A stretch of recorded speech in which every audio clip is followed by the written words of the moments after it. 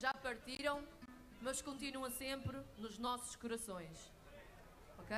Amor eterno.